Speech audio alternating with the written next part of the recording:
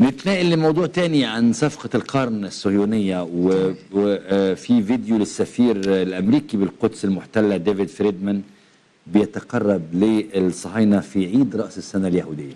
وطبعا في- فيما يخص هذا الفيديو ديفيد فريدمان هو من يعني المخلصين لترامب وهو جاء لينفذ صفقة القرن وفي إشادة كبيرة به في الإعلام العبري أن هذا الرجل جاء ليحقق ما كان أمنيات. يعني ليس فقط يعني كما كان الأولين يحلمون بأن تكون القدس عاصمة لإسرائيل هو جاء ونفذ ذلك.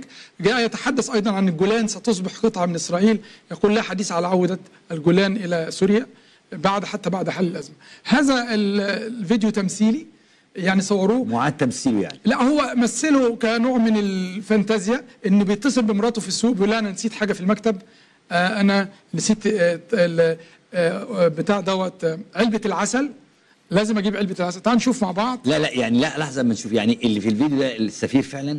السفير فعلا. آه هما بيمثلوا ليه؟ هو بي- جايبين صورته ان هو في في في المكتب بتاعه مكتب السفاره فبيدور كده على العسل. آه، في في الإدراج مش لاقيه. العسل ده هو بيحتفل بيه برأس السنة اليهودية. ليه؟ بيكون بي- بي- بيغمسوا التفاح بالعسل. من ضمن الطقوس بتاعه رأس السنة. إيه راجع لإيه الطقوس دي؟ يعني؟ يعني يوم رأس السنة اليهودية. بي- بيدخلوا الف... بياكلوا الفاكهة بالعسل.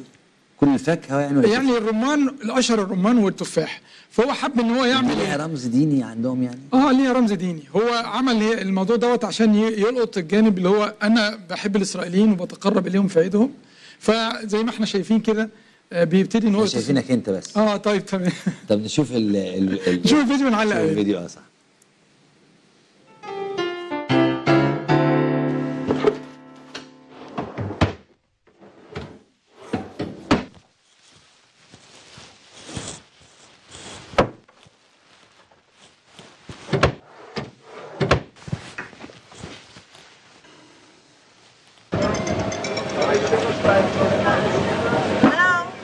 Tammy? Oh, hi, honey. How are you? Uh, not so great. Listen, I'm looking all over the office. You know, you remember the jar of honey that I brought with me from Tel Aviv for Rosh Hashanah? I do. It got lost in the move of the embassy from Tel Aviv to Jerusalem. Don't panic. I have a really great idea. Okay? Um, I'm at the Shuk at Machane Yehuda in Yerushalayim. Just hop in the car and meet me here, and we'll we'll settle the problem. Okay? Okay, I'm coming to the uh, Shuk. wow, this looks great. This never gets old. I love this. Okay, honey.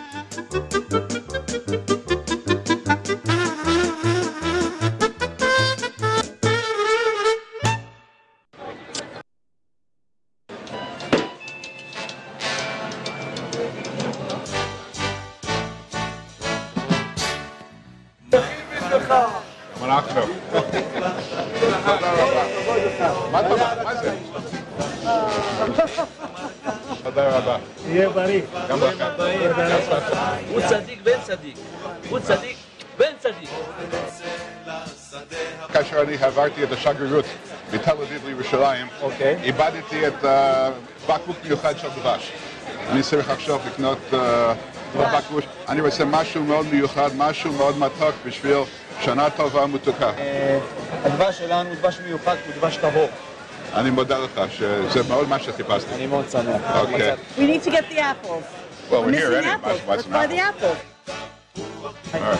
Any, This is important. We want to get we want to get the good one. אני צריך תפוחים הכי מתוקים זה. זה פינק נכון? ליידי. והכי I טרי, told הכי them. טרי. זה בשביל ראש השנה. רגע, רגע, יש לי משהו יותר טוב בשבילך. אה, זה יפה מאוד. אה, עכשיו אנחנו מדברים. On behalf of President Trump, the people of the United States, the United States government, we'd like to wish the people of Israel and Jews everywhere Shana Tova Mutuka, a happy, a healthy, a successful, and a peaceful new year. Yehir son, Shedechadesh Aleinu Shana Tova Mutuka. Baruch atah Adonai Eloheinu Melech HaOlam, Borei Peri HaEtz. Amen.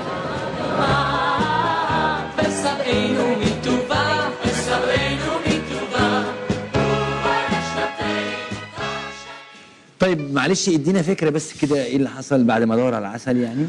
هو طبعا آه، هو فيديو ترويجي بيحاول إن يتقرب إليهم بعمل تمثيلية إن هو مراته بتتصل بيه وبيتصل بزوجته بيقول لها أنا مش لاقي العسل عشان أحتفل زي اليهود برأس السنة. فقالت له أنا موجودة في السوق آه، ممكن آه، تيجي لي. أنا موجودة هناك في سوق يهوذا آه، في القدس. فجه طبعا زي ما إحنا شفنا كده اتمشى معاها في السوق.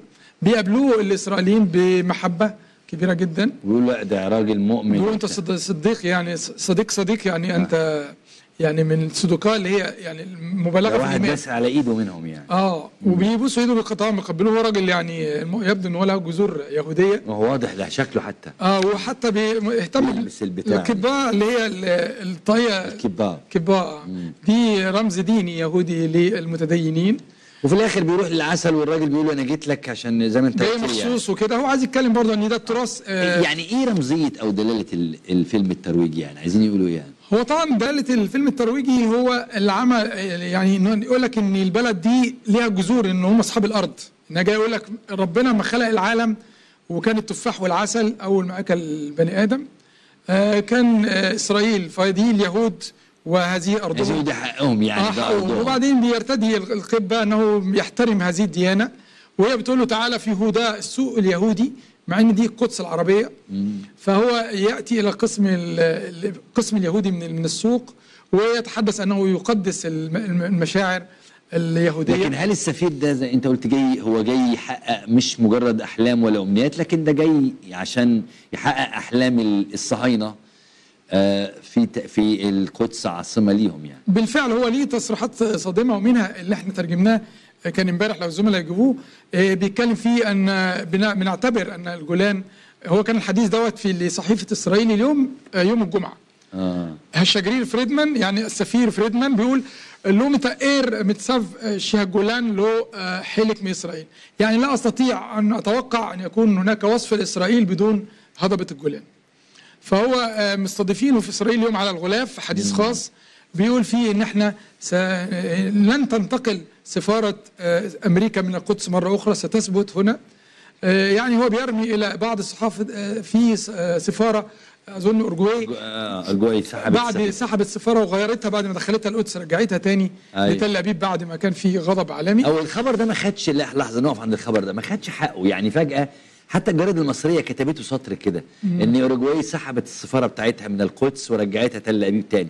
ولم يلقى هذا الخبر أي صدى أو رد فعل قوي في. مصر أو في العرب يعني باعتبار إن العرب صهاينة أو بعضهم صهاينة. يعني ما- ماذا كان رد الفعل بتاع نقل اوروجواي من سفارتها للقدس من القدس إلى تل أبيب أو عودتها لتل أبيب مرة ثانية هو طبعا رد فعل قوي جدا لأن هو الفترة دي كان في ضغوط إن ما تكونش أمريكا لوحدها. تم الضغط على بعض الدول الصغيرة إن هي تنقل مع أمريكا عشان أمريكا ما تبقاش نقلت لوحدها. وإسرائيل برضو استخدمت القوى الناعمة في الضغط على هذه الدول منها اللي استجاب منها بعض الدول في أمريكا الجنوبية اللي منها اوروجواي ورجعت تاني اوروجواي آه، انسحبت لأن لقت الموضوع خلاص يعني الضغط عليها كم. دولة هناك تقريبا يعني لكن أنا كنت متوقع يعني آه، امتدادا لكلام حضرتك إن إحنا نتكلم على لماذا لم يشيروا إلى آه، حديث فريدمان امبارح اللي اسرائيل اليوم بيقول ما فيش حاجة اسمها جولان وإن إسرائيل عاصمة أدب- آه، يعني- آه، يعني القدس عاصمة. أبدية. ده ده تصريح خطير جدا. ينسف معاهده السلام. المفروض الجولان دي أرض محتلة بعد 67 والمفروض تعود. وده سفير أمريكي. إذا نسفوه يا أبو بكر في اتفاقية كامب ديفيد تم نسف القدس منها. يعني القدس دي كانت ملف أو جزء من جزء أساسي. أساسي من ملف التطبيع أو ملف اتفاقية كامب ديفيد. لكن تم نسف ده وخلوا القدس عاصمة لإسرائيل بس أنا بنتكلم دلوقتي على سوريا ما بعد مع بعد يعني الفترة اللي جاية بعد الصراع السوري الداخلي أو حرب النظام مع مع المعارضة هو بيقول للراجل ده تصريح خطير زي كده ما- وهو راجل دبلوماسي من لا يجد ردا من اي من الدبلوماسيين العرب. ولا من الخارجية أنا ما سمعتش. أنا ما سمعتش. يمكن أنت سمعت. الخارجية المصرية ردت مثلا قالت له التزم لا الأدب. ما فيش حاجة زي كده. ما, ما قالتش حاجة الخارجية هو المصرية. بيقول لا آه، جولان جزء من إسرائيل ولا أحد يرد عليه. يقول له لا دي طبعا آه، يعني انقضاض على ما تم الاتفاق عليه مسبقا ولا حتى يمكن آه، ما سمعناش ما أعرفش يمكن يمكن يا جماعة اللي مهتم بالشأن ده يعرف. ما سمعناش أي رد من أي حكومة عربية حوالين رد هذا التصريح أو تصريح هذا السفير. بخصوص إنه آه، قال إن الجولان أرض إسرائيلية. هو طبعا التقرير كمان اللي جه في إسرائيل اليوم إحنا ترجمناه كان مليان مدح ليه كسفير هذا السفير الذي جاء ليرسم آه، ما- حلمت به إسرائيل لعقود آه، جاء يعترف أن القدس عاصمتنا والجولان جزء منا. يعني قاعدين عاملين في مدح طويل جدا في الحوار المطول معاه. إن هذا الرجل جاء ليس فقط ليتحدث ولكن لينفذ. آه.